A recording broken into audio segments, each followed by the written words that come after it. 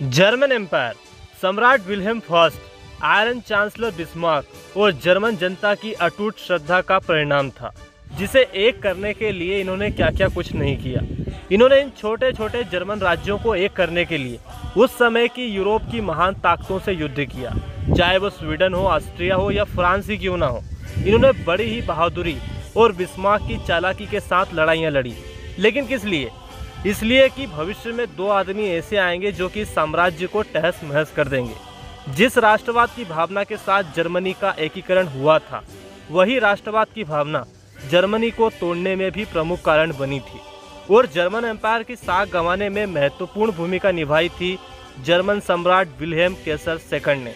और सच में, अगर अमित जी जर्मन सम्राट को पहले देख लिए होते तो वो नत्थोलाल की मूछों की तारीफ़ नहीं करते, बल्कि यह कहते कि मूछे हो तो विलियम केसर जैसी। तो दोस्तों, वीडियो की शुरुआत हो चुकी है। मेरा नाम है विकास और आज के इस वीडियो में हम बात करने वाले हैं जर्मन एम्पायर की नैया डुबाने वाले विलियम केसर सेकंड के बारे में। तो आइए शुरू से शुरू करते हैं। सम्राट विलियम केसर का जन्म 27 जनवरी सन अठारह को जर्मनी में वर्लिन के पास पोस्टडेम में हुआ था। वो प्रशिया के फेडरिक थर्ड और ब्रिटेन की राजकुमारी विक्टोरिया के बेटे थे। विक्टोरिया ब्रिटेन की महारानी विक्टोरिया की सबसे बड़ी बेटी थी। जिनकी शादी फेडरिक थर्ड के साथ हुई थी। यानी कि आपसी रिश्तेदारी होने के बावजूद भी जर्मनी और ब्रिटेन में काफ़ी दुश्मनी थी, जो खुद विलियम सेकंड ने बनाई थी। वो खुद एक विज्ञान का विद्यार्थी था, जिन्होंने विल्हेन वॉन यूनिवर्सिटी से शिक्षा ली थी। साथ ही उनकी माँ ने उसे बचपन से ही उदारवाद की शिक्षा भी दी, लेकिन आगे चलकर उसकी माँ से उसके रिश्ते खराब रहे। और यही कारण भी माना जाता है कि विल्हेम ब्रिटेन से क्यों चिढ़ता था? सन 1888 में विलहेम के पिता फेडरिक थर्ड जर्मन साम्राज्य के सम्राट बने। लेकिन अपनी बीमारी के चलते वो कुछ महीने ही सत्ता में रहे और 29 साल की उम्र में 15 जून 1888 को अपने पिता की मौत के बाद विल्हेम ने सत्ता संभाली। सत्ता संभालते ही उसने बिस्मार्क पर दबाव बनाया, जिससे बिस्मार्क ने सन 1990 में अपना इस्तीफा दे दिया और यह भविष्यवाणी भी कर दी कि यही बंदा आगे चलकर जर्मनी की नैया डुबाएगा। और ऐसा हुआ भी। दोस्तों, विल्हेम सेकंड पर ज़्यादा बात करें, उससे पहले बात करते हैं जर्मन एम्पायर की स्थिति के बारे में। क्योंकि फ्रैंकफर्ट की ट्रीटी के बाद जर्मन एम्पायर अस्तित्व में आ चुका था। विल्हेम फ़र्स्ट को जर्मन सम्राट का ताज पहनाया गया। विस्मार्क जर्मन एम्पायर के पहले चांसलर बने, जिन्हें आयरन चांसलर के नाम से भी जाना जाता है। उस समय यूरोप में जर्मनी अकेला नहीं था। उसके साथ साथ इटालियन राज्य भी एक हो चुके थे। यानी कि इटली भी एक ताकतवर देश के रूप में अस्तित्व में आ चुका था। और जर्मनी के साथ साथ इटली के एकीकरण की कहानी भी एक साथ जुड़ी हुई है। और जर्मनी के एकीकरण के बाद से ही यूरोप में बिस्मार्क का युग भी शुरू हो चुका था। फ्रैंकफर्ट की ट्रीटी में बिस्मार्क ने फ्रांस का इस तरह से अपमान किया था कि उसे पता था कि फ्रांस के लोग ये अपमान नहीं भूल पाएँगे। और एक ना एक दिन फ्रांस जर्मनी पर युद्ध थोपेगा।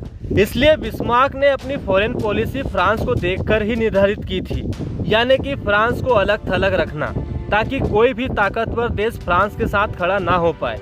इसलिए उसने ब्रिटेन की ताकत का सम्मान किया कि, भाई, तुम ही कॉलोनी बनाओ, हमें कोई दिलचस्पी नहीं है। अगर गलती से कोई बच जाए तो हमें दे देना। बाकी यूरोप के साथ भी उसके संबंध बहुत अच्छे थे। बिस्मार्क ने ट्रिपल अलायंस की स्थापना की थी, जिसमें ऑस्ट्रिया, इटली भी शामिल थे। हालाँकि शुरुआत में इसमें रशिया भी शामिल था, लेकिन बाद में वो इससे दूर होते गया। लेकिन फिर भी बिस्मार्क की फॉरेन पॉलिसी में रशिया एक दोस्त के रूप में शामिल था। इसके साथ ही समय बीतता गया। जर्मन एम्पायर के सम्राट भी बदलते रहे, लेकिन बिस्मार्क की ताकत कम नहीं हुई। लेकिन जब विल्हेम सेकंड जर्मन एम्पायर का सम्राट बना, तब तक बिस्मार्क भी बूढ़ा हो चुका था। और इस बदलती हुई दुनिया में विल्हेम पुरानी विचारधारा वाला सम्राट बना। मतलब सम्राट ही राजा का माई बाप होता है। देवताओं का पुत्र होता है और पूरे देश का स्वामी होता है, जबकि बिस्मार्क के सिद्धांत के अनुसार सम्राट एक कर्मचारी से ज़्यादा कुछ नहीं होता। हालाँकि जर्मन सम्राट के पास पूरी ताकत नहीं थी, लेकिन बिस्मार्क के इस्तीफे के बाद से ही जो भी नए चांसलर बने, वो या तो सम्राट के करीबी थे या रिश्तेदार थे, इसलिए सारा का सारा पावर उसी के हाथों में रहा। एक ब्रिटिश इतिहासकार विलियम फिशर लिखते हैं कि विलियम सेकंड का चरित्र जर्मनी का दुर्भाग्य था। वह सम्राट के योग्य तो था, पर गर्म मिजाज के कारण उसकी बुद्धि भ्रष्ट हो चुकी थी। सत्ता संभालते ही विलियम केसर ने अपनी फॉरेन पॉलिसी में काफ़ी बदलाव किए। वह जर्मनी को यूरोप की नहीं, बल्कि दुनिया की सबसे बड़ी ताकत बनाना चाहता था और वर्ल्ड पावर बनने के लिए सीधा सा एजेंडा था ब्रिटेन की तरह अपनी भी कॉलोनियाँ बनाओ। और वाल्कन यानी कि पूर्वी यूरोप में बूढ़े हो चुके ऑटोमन एम्पायर का फ़ायदा उठाओ। लेकिन उसकी इसी पॉलिसी के कारण अब उसके दुश्मन भी बढ़ रहे थे। बिस्मार्क की फॉरेन पॉलिसी के अनुसार, बिस्मार्क ब्रिटेन की नेवी का सम्मान करता था। वो ब्रिटेन को जल का कछुआ और जर्मनी को थल का कछुआ कहता था। यानी कि ब्रिटेन समुद्र में शक्तिशाली है और जर्मनी ज़मीन पर। इसलिए उसने कभी भी अपनी नेवी को शक्तिशाली नहीं बनाया, ताकि ब्रिटेन से कोई दुश्मनी ना हो। लेकिन विलियम ने अपनी नेवी को ताकतवर बनाना शुरू कर दिया। क्योंकि बिना ताकतवर नेवी के कॉलोनिया बनाना आसान नहीं था।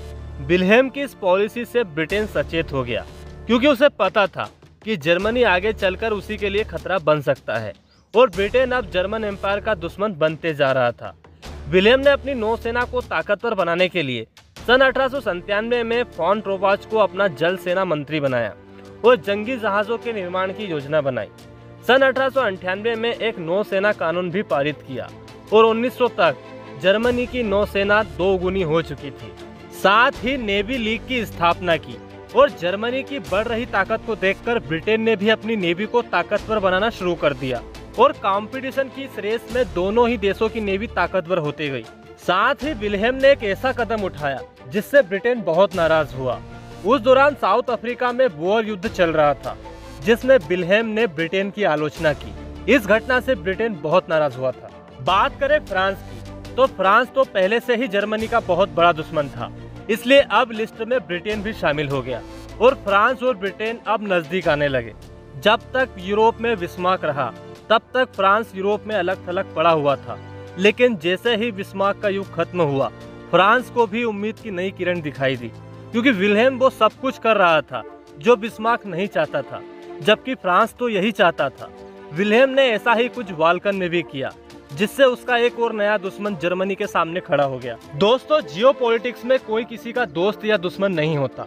लेकिन विलहेम के राज में जर्मन एम्पायर और ऑस्ट्रो हंगेरियन एम्पायर के बीच दोस्ती इस कदर बढ़ गई कि रशिया नाराज़ हो गया। बिस्मार्क ने अपने समय में यह भविष्यवाणी पहले ही कर दी थी कि अगर यूरोप में विश्व युद्ध शुरू होता है तो उसका प्रमुख कारण पूर्वी यूरोप ही होगा, यानी कि वाल्कन का क्षेत्र। और उनकी भविष्यवाणी 100 टका सही भी साबित हुई थी। बिस्मार्क कभी भी पूर्वी यूरोप की समस्या पर ध्यान नहीं देता था। वो यहाँ तक कि पूर्व से आए हुए किसी भी खत को खोलकर भी नहीं देखता था। लेकिन विलहेम ने पूर्वी समस्याओं में उंगली की। उसने ऑटोमन एम्पायर के साथ संबंध बढ़ाए। वो बर्लिन से लेकर बगदाद तक एक रेलवे लाइन का निर्माण चाहता था। इसलिए उसने ऑटोमन एम्पायर से अच्छे संबंध बनाए। और उस समय ऑटोमन सुल्तान अब्दुल हमीद ने इसकी अनुमति भी दी।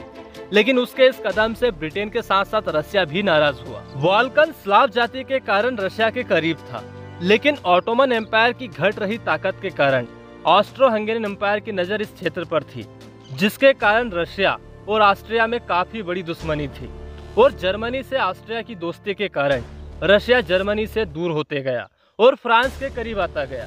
सन अठारह सौ चौरानवे में फ्रांस और रशिया की ट्रीटी से यूरोप में एक अलग ही परिवर्तन हो चुका था। बात करें कोलोनाइजेशन की तो बिस्मार्क ने जर्मनी को इससे दूर ही रखा, लेकिन विलहेम नहीं माना। वो अफ्रीका की लूट को दूर बैठे नहीं देख सकता था, जहाँ ये सभी यूरोपीय देश गिद्ध की तरह अफ्रीका को लूटने में लगे थे। जर्मनी भी इसमें शामिल हो गया, और अफ्रीका सहित एशिया में अपनी कॉलोनियाँ स्थापित की। अब ऐसा नहीं है कि विलियम केसर ने सिर्फ़ उल्टे काम ही किए। उसने जर्मनी के विकास में महत्वपूर्ण भूमिका भी निभाई। उसके राज में जर्मनी ने दिन दोगुनी और रात चौगुनी तरक्की की। जर्मनी के उद्योगों में एकदम से तरक्की हुई। उस समय जर्मनी के पास लोरेन में पर्याप्त प्राकृतिक भंडार थे, जिसका जर्मनी ने खूब इस्तेमाल किया। उस समय उद्योगों में उसे टक्कर देने वाला एक ही देश था, वो था अमेरिका। लेकिन विलहेम की नीतियों के कारण अब यूरोप दो भागों में बढ़ चुका था। पहला हिस्सा था ट्रिपल अलायंस और दूसरा था ट्रिपल एंटेंट और उसी का ही परिणाम था कि जब आगे चलकर बोस्निया में ऑस्ट्रिया के ड्यूक फ्रांस फर्डिनेंड की हत्या की गई तो ऑस्ट्रिया हंगेरियन एम्पायर के साथ विलहेम भी खड़ा था। अगर वो चाहता तो विश्व युद्ध टाला जा सकता था, लेकिन विश्व युद्ध हुआ। जर्मनी ने अगस्त 1914 के पहले हफ़्ते में ही फ्रांस और रशिया के खिलाफ युद्ध की घोषणा कर दी। और युद्ध शुरू हो गया। विलहेम इस युद्ध में सशस्त्र बलों का कमांडर इन चीफ था। हालाँकि कुछ इतिहासकार यह भी मानते हैं कि विलियम अपने आर्मी जनरलों के सामने मजबूर था, इसलिए उसे युद्ध में जाना पड़ा था। लेकिन जो भी हो, एक समय के बाद जर्मनी का साथ उसके साथी छोड़ चुके थे। जर्मनी हार की कगार पर था और 1916 के बाद विलहेम की पावर भी खत्म हो चुकी थी। जब जर्मनी हारा तो विल्हेम ने 9 नवंबर 1918 को त्याग पत्र दे दिया और अगले ही दिन एक गाड़ी लेकर नीदरलैंड भाग लिया। सब बीमारी से दूर। जहाँ उसने हॉर्न शहर में एक घर खरीदा और अपने परिवार के साथ रहने लगा। युद्ध खत्म होने के बाद सहयोगी देश उसे युद्ध अपराध की सजा देना चाहते थे। लेकिन नीदरलैंड की रानी ने इसके लिए मना कर दिया। इस दौरान नीदरलैंड में उसका जीवन भी दुख से ही भरा हुआ था, क्योंकि 1920 में उसकी पत्नी की मौत हो चुकी थी और आगे चलकर उसके बेटे ने आत्महत्या भी कर ली थी। हालाँकि 1922 तक उन्होंने फिर से दूसरी शादी कर ली थी। जिसके बाद से वो नीदरलैंड में ही रहा।